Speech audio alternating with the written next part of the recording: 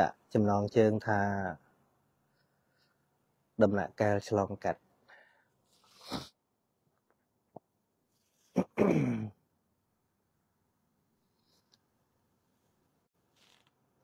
ចឹងកាលណាយើងលើពាក្យថាដំណាក់កាលឆ្លងកាត់គឺជាពេលវេលាដែលយើងធ្វើដំណើរដែលមិនមែនជាទីសម្ចតពិតប្រាកដ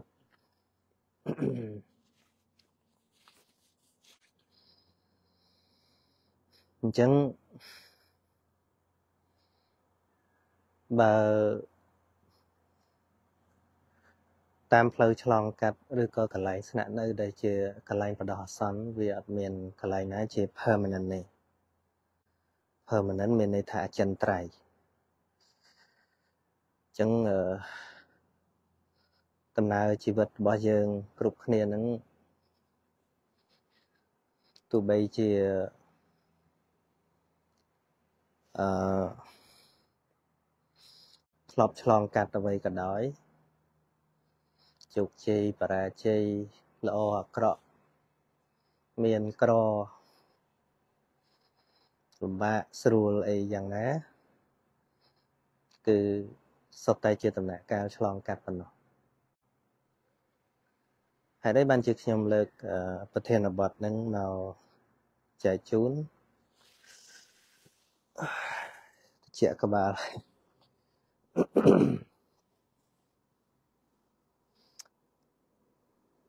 មិនឆ្ងាយអំពីកិច្ចប្រតិបត្តិពធទេហើយម្យ៉ាងទៀតចង់និយាយថាកិច្ចប្រតិបត្តិពធគឺយើងប្រតិបត្តិនៅក្នុងដំណាក់កាលឆ្លងកាត់នៃជីវិតគ្រប់គ្នានឹងឯងហ្នឹងយើងម្នាក់ម្នាក់ អាចចេះមើល Facebook នាពេលនេះគឺมันអាយុតិចជាង10ឆ្នាំទេភាគច្រើនចាប់ផ្ដើមពេញវ័យឬក៏កណ្ដាលឬក៏ចាស់អញ្ចឹង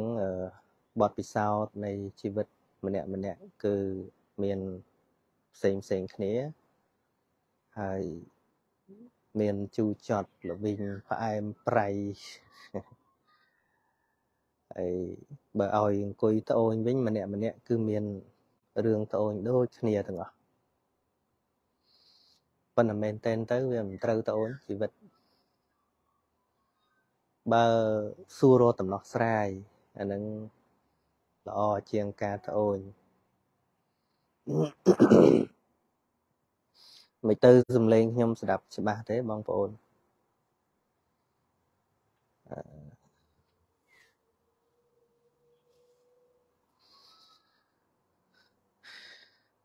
ហើយ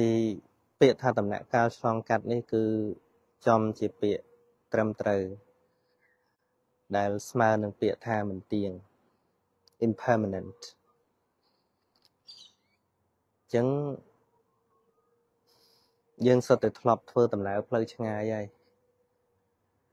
ចេញពីពោធិ៍សាត់ទៅភ្នំពេញឬក៏ពីភ្នំពេញទៅបាត់ដំបងអីតាមផ្លូវដែលយើងជួបប្រទះហូបចង្រិតលីងអីតាមផ្លូវក៏គ្រាន់តែជាដំណាក់កាលឆ្លងកាត់មិនមែនជា permanent resident មិនមែនជាទីលំនៅពិតប្រាកដទេដូច្នេះ កាលណាបើយើងដឹងថានោះមិនមែនជាទីលំនៅពិតប្រាកដទិសដៅយើងផ្សេង យើងប្រកាសជាមិនជាប់ជំពាក់ខ្លាំងនៅរាល់កន្លែងដែលយើងឆ្លងកាត់នឹងទេទោះបីយើងដើរដំណើរឆ្លងកាត់នឹងមានជ្រោះមានទឹកហូរមានព្រៃភ្នំឬក៏មានប្រាសាទមានសន្តាគារល្អល្អ ដែលយើងត្រូវចូលស្នាក់ម្ដងម្កាលយ៉ាងណាក៏ដោយ ដល់ពេលវេលាយើងវិចអីវ៉ាន់ចេញតាមស្រួលមិនហួងហែងថាជារបស់យើងហើយអឺមិនគិតថាយើងចេញពីកន្លែងហ្នឹងមិនបានទេពីព្រោះយើងដឹងយើងដឹងថាអូទីនេះជាដំណាក់កាលឆ្លងកាត់ប៉ុណ្ណោះទេខ្ញុំលើកពីរឿងសាមញ្ញចឹងសិនណា ដើម្បីប្រៀបធៀបទៅក្នុងនៃពធ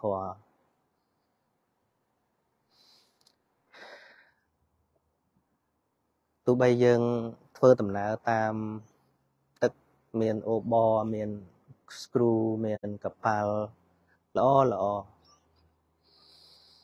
រហូតដល់ថាយើងទៅដើរលេងតាមកប៉ាល់ធំហ្នឹងមួយសប្តាហ៍នៅលើទឹកអីចឹងទៅទោះបីយើង enjoy សប្បាយរីករាយក៏ពិតមែន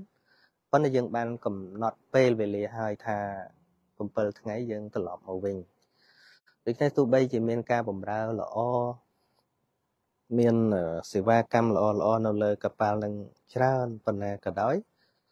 ដល់ពេលវេលាយើងវិចអីវ៉ាន់យើងចុះមកដោយសន្តិភាពមិនអឡោះអាល័យស្ដាយក្រោយទេប៉ុន្តែក្នុងរយៈកាលមួយសប្តាហ៍ដែលយើង សបាយរីករាយនឹងដំណើរកំសាន្តរបស់យើងហ្នឹងគឺយើងសបាយរីករាយឲ្យអស់ចិត្តចឹងទៅធ្វើអីដែលអាចធ្វើបាន នៅលើនឹងប៉ុន្តែមិនភ្លេចថាដល់ពេលវេលា យើងនឹងវិចអីវ៉ាន់ចុះចេញពីកប៉ាល់ដ៏ល្អនោះឬក៏យើងធ្វើដំណើរតាមយន្តហោះយើងជិះអា first class ហ្នឹង business class មែនតើនៅខ្ញុំជិះយន្តហោះ មួយជីវិតមិនដែលបានជិះ business class ម្ដងជិះតែ economic ធម្មតាប៉ុន្តែឃើញអា first class របស់គេហ្នឹងអាថ្នាក់លំដាប់ VIP ហ្នឹងវាល្អរបស់គេមែនអាចសណ្ដូកជើង អាចដាក់កុំព្យូទ័រអាចតម្រេតអីបានស្រួលប៉ុន្តែបើទោះជាវាថ្លៃប៉ុណ្ណាវាស្រួលប៉ុណ្ណាក៏វាមួយដំណាក់កាលដែលយើងធ្វើដំណើរប៉ុណ្ណោះ ហើយកំណត់សញ្ញាថាដល់ពេលវេលា យើងនឹងចុះចេញពីយន្តហោះហ្នឹងដោយដោយស្ម័គ្រចិត្តហ្នឹងហើយដោយស្ម័គ្រចិត្តអត់មានស្ដាយអីទេបង់លុយឲ្យតម្លៃរាប់ពាន់ដុល្លារក៏ដោយប៉ុន្តែ កាលណាយើងបានកំណត់ដឹងអញ្ចឹងហើយ ដល់ពេលវេលាអស់សុពលភាពរបស់វាយើងចុះចេញពីយន្តហោះហ្នឹងបើថាគេខ្ទប់មិនចង់ឲ្យចុះហ្នឹងយើងមិនមិនស្រួលចិត្តទៀតខ្ញុំ ធ្លាប់ឃើញអ្នកជិះយន្តហោះទាំងខ្ញុំហ្នឹងក៏ដែរពេលយន្តហោះចុះដល់ដីហើយហ្នឹងមិនឲ្យងាយចេញហ្នឹងគឺថាវាដូចជាយ៉ាងម៉េចទេហ្នឹងហើយទោះបីយន្តហោះហ្នឹងតម្លៃប៉ុណ្ណាក៏ដោយអត់ចង់នៅអង្គុយនឹងទៀតទេឃើញទេយើងដឹងដឹងច្បាស់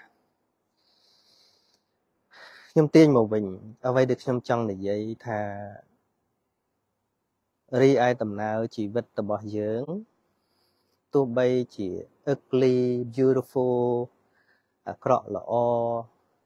មានក្រពិបាកសនុកសបាយមិនសបាយដែលយើងធ្លាប់ជួបប្រទេសមកគឺក៏ដូចជា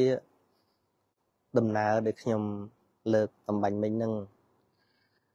ហ្នឹងហើយជួបលំបាកក៏ដឹងថាវាជាដំណាក់កាលឆ្លងកាត់មួយ សនុកហ្នឹងក៏ជាដំណាក់កាលឆ្លងកាត់មួយសិតតែមិនទៀងទាំងអស់ហ្នឹងគ្រាន់ថាទុកលំបាកវាជាទុកដែលលំបាកទ្រាំហើយសនុកហ្នឹងទុកវាសនុកទ្រាំបន្តិចតែប៉ុណ្្នឹងឯងអញ្ចឹងកាលណាយើងដឹងមុនថាគ្រប់យ៉ាងមិនទៀងអញ្ចឹងនៅពេលដែលរឿងទាំងអស់ហ្នឹងវាផុតរលត់ទៅក៏យើងដូចជាមិនសុបាយណាស់ពេកទេឧទាហរណ៍ថាយើងជួបពិបាកចាស់ ហើយយើងដោះស្រាយបានក៏មិនទៅអភ្លេចខ្លួនអីដែរវាគ្រាន់តែជាដំណាក់កាលឆ្លងកាត់ដែលយើងដោះស្រាយបានប៉ុណ្ណោះហើយសុខសប្បាយដែលយើងបានជ័យជំនះដែលយើងបានការរាប់អាន បានការស្រឡាញ់ឬក៏បានគេគ្រប់គ្រងអីសពគ្រប់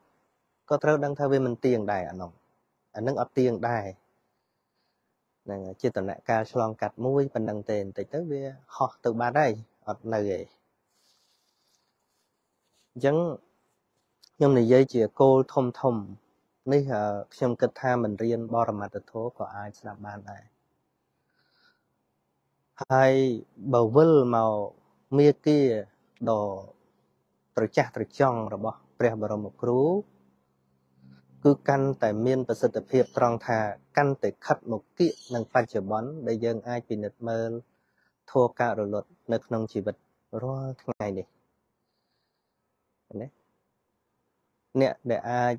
រួចរំដោះចាកសេចក្តីប្រកាន់សពគ្រប់សេចក្តីសោកសេចក្តីខ្សឹកខ្សួលទុកទោមនោះច្រើនច្រើនបានហ្នឹងគឺបើมันអាចចូលទៅដល់ការឃើញការកើតរលត់នៃរូបធម៌នាមធម៌បានក៏អាច យកអ្វីដែលខ្ញុំនិយាយខាងដើមថាវាជាតនកាលឆ្លងកាត់ឬឧបមាដូចជាយល់សពចឹងណាជីវិតនឹងដូចយល់សពចឹងចឹងបានបាញ់មិញមានប្អូនម្នាក់គាត់ផ្ញើសារមកខ្ញុំហើយផ្ញើវីដេអូគេកំពុងតែវាយខ្ញុំទៀតហើយបាទខ្ញុំប្រាប់ថាសង្ខារធម៌ទោះបីវាកើតប៉ុណ្ណាក៏ត្រូវតែរលត់ ចឹងត្រូវតែរលត់ហ្នឹងហើយហើយគាត់ឆ្លើយមកទៀតដែរតែលើកនេះប្រហែលជាយូរបន្តិចហើយបានរលត់ថាអត់ទេខ្ញុំឆ្លើយថាអត់ទេ សង្ខារធម៌កើតពេលណារលត់ពេលហ្នឹងប៉ុន្តែវាចិត្តតែបន្តវានៅមានបច្ច័យឲ្យតកើតហ្នឹងហើយមានបច្ច័យឲ្យតកើត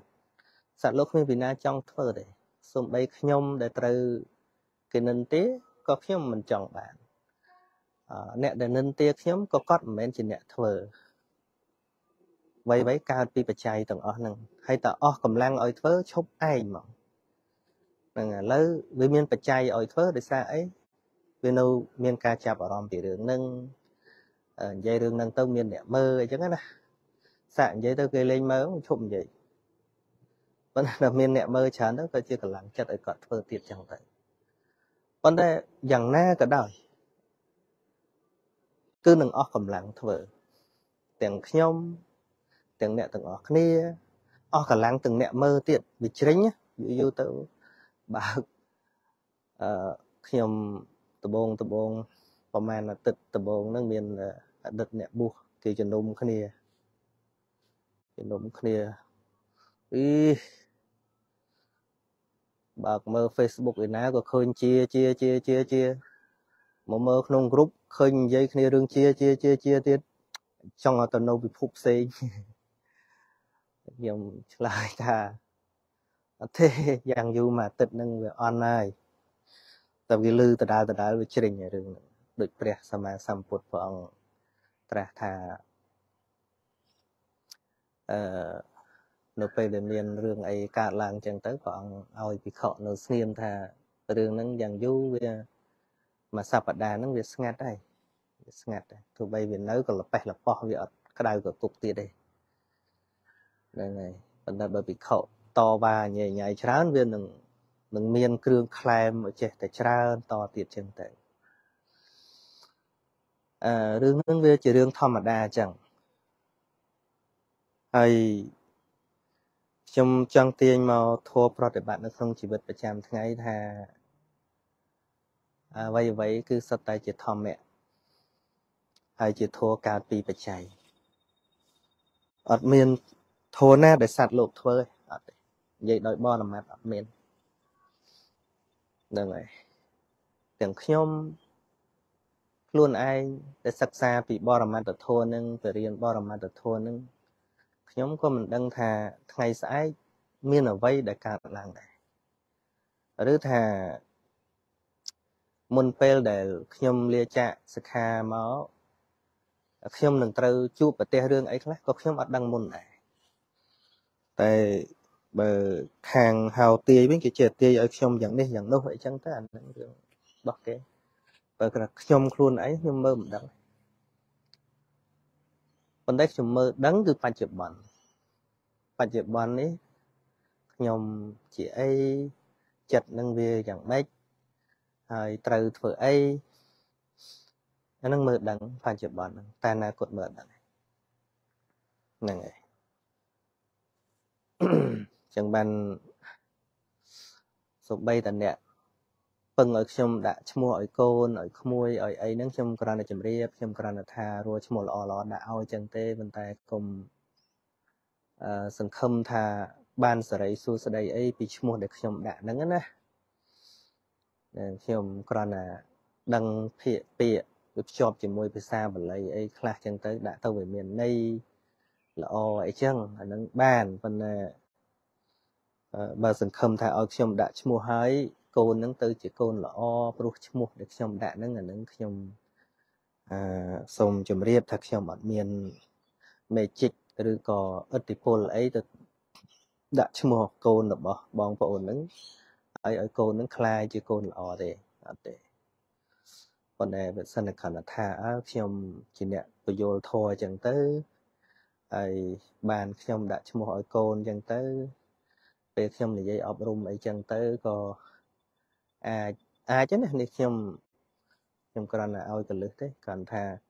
ក្រៃលោកកូននឹងមានបនិស័យណាកូនអ្នកឈ្មោះខ្លួនឯងណាលោកគ្រូដាក់ឲ្យគ្រូនិយាយរឿងនេះស្ដាប់លោកមើល ស្ដាប់គាត់មើលអីចឹងទៅអានឹងគឺលោកវាមានបនិស័យស្ដាប់ខ្ញុំអីចឹងណាដោយសារសារភ្ជាប់នឹងឈ្មោះដែលខ្ញុំដាក់ឲ្យប៉ុន្តែបើថាខ្ញុំដាក់ហើយសង្ឃឹមថាកូននឹងខ្លាយជាកូនល្អព្រោះតែខ្ញុំដាក់ឈ្មោះនោះគឺមិនមែនទេមិនមែនទេនឹងចឹងចឹងខ្ញុំគ្រាន់តែសាកសលេងទៅចង់កងួរទៀត អឺគ្រាន់តែខ្ញុំនឹកឃើញបទចម្រៀងមួយដែលដូចដូចអ្នកស្រីសុងសេងហ៊ុនគាត់ច្រៀងអ្នកមានកំអែលអអ្នកក្រកំអែលភ័យមិននឹងធម្មជាតិកើតស្លាប់អីអញ្ចឹងបើសិនបើយើងយកបានតែមួយ នៅក្នុងបណ្ដាធម៌ទាំងឡាយដែលព្រះបរមគ្រូព្រះអង្គទ្រង់ត្រាស់សម្ដែងអឺ យកមកពិចារណាយកមកដាក់នៅក្នុងជីវិតយើង បញ្ហាធំតូចអីទាំងឡាយឲ្យវានៅជាបញ្ហាអញ្ចឹងទៅហើយយើងយកពេលវេលាដោះស្រាយតាមស្រួលវាមិនបាច់យកពេលលំបាកចិត្តហ្នឹងហើយបញ្ហានៅតែជាបញ្ហាប៉ុន្តែដឹងហើយនៅពេលដែលយើងពិបាកចិត្តអត់ប្រយោជន៍ហ្នឹងយើងខាតខាតធម៌ពលការគិតអាដេកពិបាកចិត្តអានឹងចិត្តអត់ឆ្លាតទេឧទាហរណ៍ថាឥឡូវយើងមានបញ្ហាអីមួយ យើងដេកពិបាកចិត្តអត់អំពើសួរថាចំណេញអីវាអត់ចំណេញឯខាតខាតធម៌ពលផ្លូវចិត្តអស់កម្លាំងនឿយហត់ដល់វាវាហត់ហត់យូរយូរទៅវា stress stress យើងហៅមានជំងឺផ្លូវចិត្តអីដោយសារអីវាហត់ចិត្តនឹងវាហត់ប៉ុន្តែបើសិនជាយើងមានមេរៀនដើម្បីអង្គន់រូបធម៌នាមធម៌ហ្នឹងឲ្យវាបែកខ្ញែកគ្នាទៅបញ្ហានៅតែជាបញ្ហាចឹងទៅពាក់លុយគេរលុយសងគេទៅ យើងយើងយកកម្លាំងយកចិត្តយកបញ្ញារបស់យើងទៅរលុយធ្វើម៉េចឲ្យវាចេញលុយដើម្បីឲ្យសងគេអត់មានដេកបាក់ចិត្តទេឃើញទេតែបើយើងអត់យល់ពីដំណាក់កាលឆ្លងកាត់ចិត្តដេកដោយអដេញតដេវិចអឺទ្រមេឃចឹងណាដេកជើងឡើងលើខ្លាច់មេឃបាក់អីចឹងណាវាអត់ប្រយោជន៍ហ្នឹងហើយ ចឹងយល់ធននឹងគ្មានចំណេញអីក្រៅពីចំណេញធម៌ពលផ្លូវចិត្តទេហើយកាលណាបានធម៌ពលផ្លូវចិត្តវាឧបត្ថម្ភដល់ធម៌ពលផ្លូវកាយរបស់យើងដែរអហើយវាមិនមែនតែចំណេញមិនខាតប៉ុណ្្នឹងទេវានឹងធ្វើឲ្យយើងឆ្លាតក្នុងការដោះស្រាយបញ្ហាព្រោះយើងអត់បានខាតពេលទៅអង្គុយពិបាកចិត្តយើងប្រមូលយកធម៌ពលរបស់យើងមកដោះស្រាយបញ្ហាដែលគួរដោះស្រាយទៅប៉ុណ្ណោះអញ្ចឹងណាចំណេញនៅពេលដែលយើង អាចប្រមូលនៅធម៌ពលផ្លូវចិត្តរបស់យើងមកគិតចំបញ្ហាដែលគួរគិតដោះស្រាយបញ្ហាដែលគួរដោះស្រាយឧទាហរណ៍ថាឥឡូវឈឺត្រូវដោះស្រាយម៉ែហ្នឹងត្រូវតែដោះស្រាយហើយញ៉េដោះស្រាយត្រូវធ្វើម៉េចខ្ញុំតិចតិចផ្លេចដោះស្រាយទៀត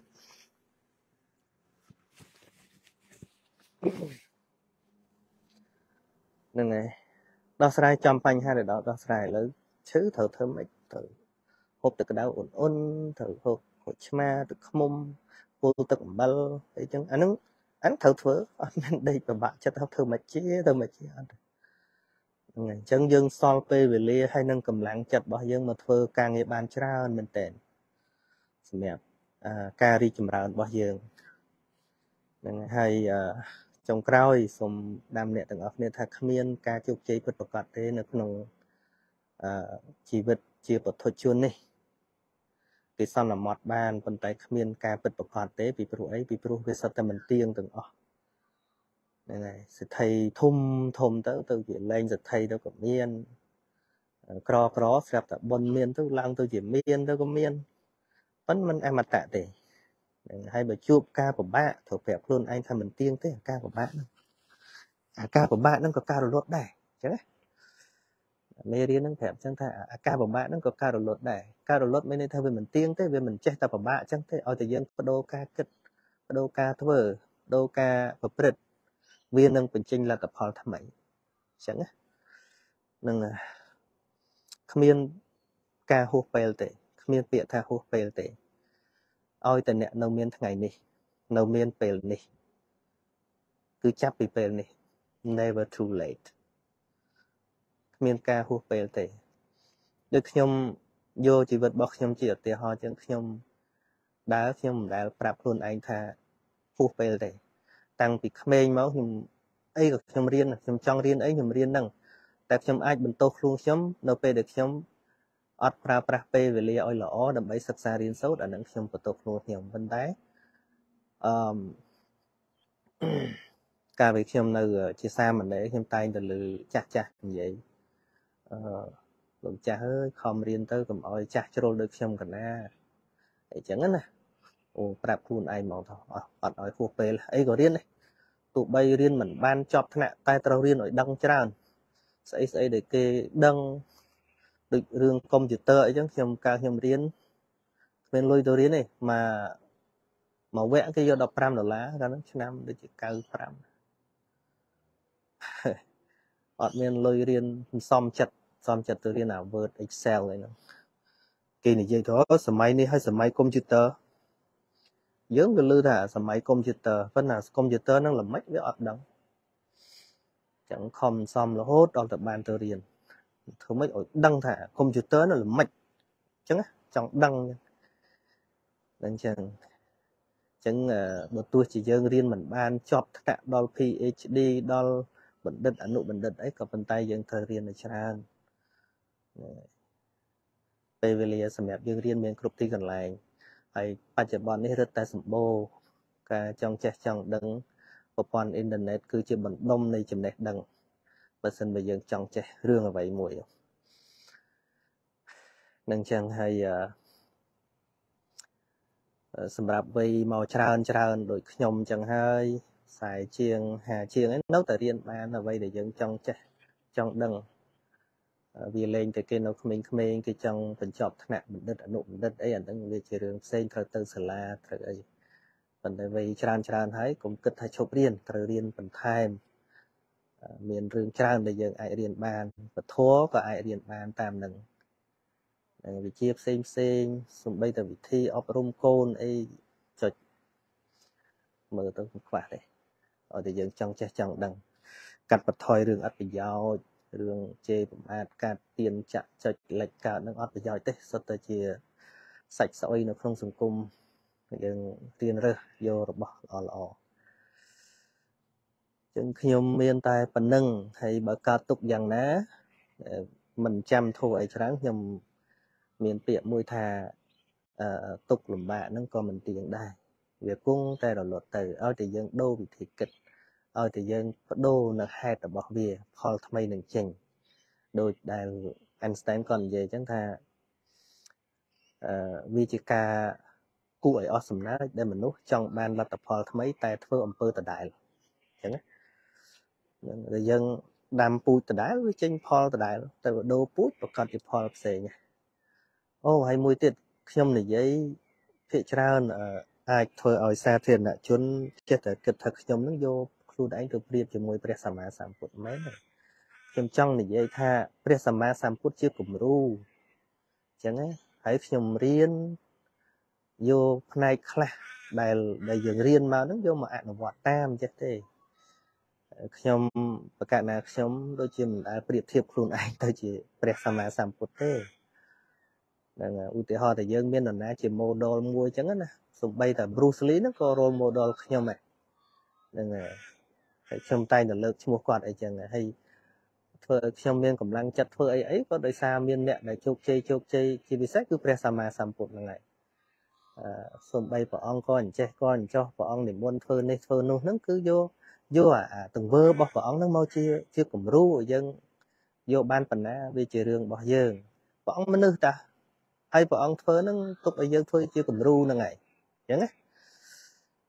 បើសិនជាព្រះអង្គនៅឋានព្រះផ្សេងយើងយកគំរូខ្លះតាមមិនបានវាអត់ប្រយោជន៍កាយវិចាររបស់ព្រះអង្គ